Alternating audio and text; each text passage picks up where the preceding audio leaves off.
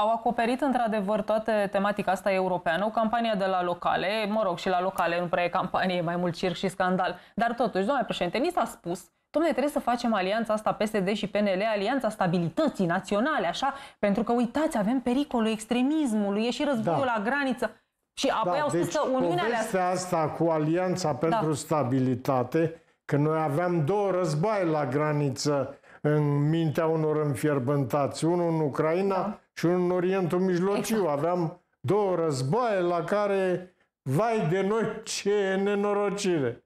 Ne încurcă, ne trebuie stabilitate.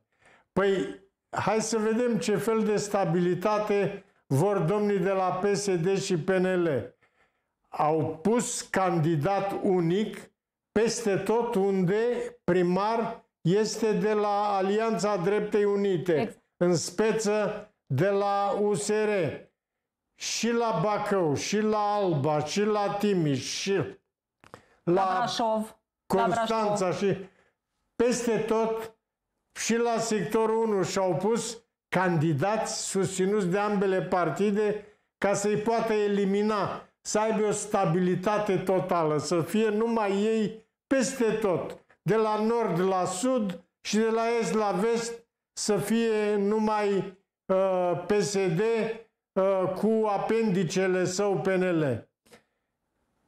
În realitate, ei, ei uh, vorbesc de stabilitate înțelegând definiția stabilității ca fiind aceeași cu definiția dictaturii.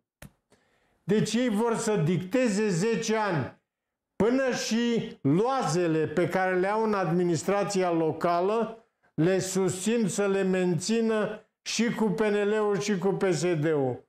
Deci uh, stabilitatea pe care o propovăduiesc este de fapt un soi de dictatură mascată. Asta vor să obțină.